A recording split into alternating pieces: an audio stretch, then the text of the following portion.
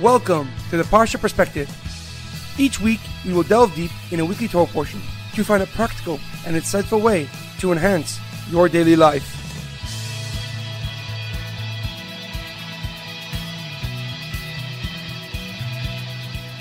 Thank you for tuning in. My name is Shalom Yamini. Each week, we will look into the weekly Torah portion to find inspiration that will complement your daily life and intensify your connection to God. This week's Parsha perspective is dedicated to Binyamin Ben Shira. May he experience a swift and complete recovery. This week's Torah portion is Parshas Va'era. Our Parsha begins with Hashem revealing one of his most holy names to Moshe Rabbeinu, a name which he did not even reveal to our forefathers. Hashem tells Moshe that he has heard the cries of the Jewish people, and now he will avenge them and take them out of Egypt. Our Parsha contains seven out of the ten plagues that Hashem struck the Egyptians with blood, frogs, lice, wild animals, death of cattle, boils, and fiery hail. Each plague cycle lasted one month. For the first three weeks, Moshe and Aaron would continuously warn Pare about the upcoming plague, and the plague itself would last one week.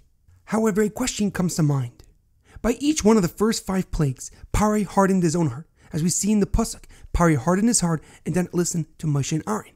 However, by the sixth plague of boils, the Pasuk says that Hashem hardened Pare's heart, and now he did not listen to Moshe and Aaron.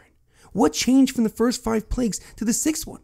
Why now did Hashem harden Pare's heart?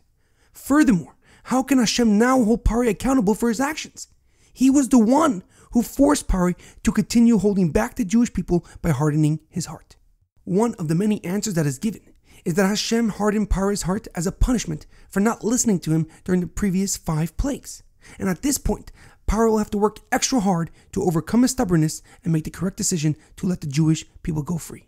However, a deeper and more profound explanation is that Hashem was actually leveling the playing field.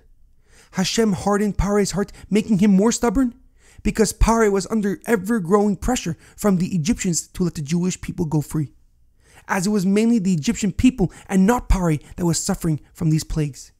However, Pare still had a choice whether or not to continue to oppress the Jewish people.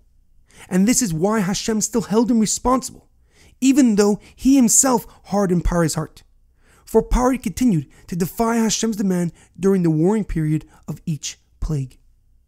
The Rambam writes in Mishneh Torah that one of the fundamentals of creation is that God created each human being with the inherent opportunity to choose between right and wrong. Each day we are given the freedom to choose between bringing Hashem closer and back down to this physical world or the opposite, heaven forbid. As the Pasuk says in Devarim, I have placed before you life and death, blessings and curses. Choose life so you and your children shall live. In our daily life, it is imperative that we understand that the freedom to choose between right and wrong is the basis of a moral and ethical world. And since we are given the power of choice, we are accountable for all the decisions that we make, irrespective of the given situation. Therefore, it is essential that we consider the consequences of our actions before they happen, and hopefully make the correct decisions leading us closer to accomplishing our goals, dreams, and potential. There's an amazing quote by Abraham Lincoln You can't escape the responsibility of tomorrow by evading it today. Have a great weekend and good Shabbos.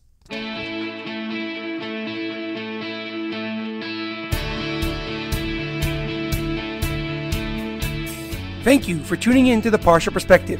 Check out our website, theparshaperspective.com. Send thoughts and comments to theparshaperspective at gmail.com. Till next time, thanks for listening.